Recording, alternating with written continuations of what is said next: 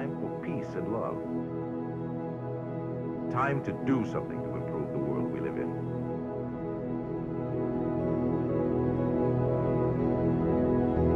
To do something about sickness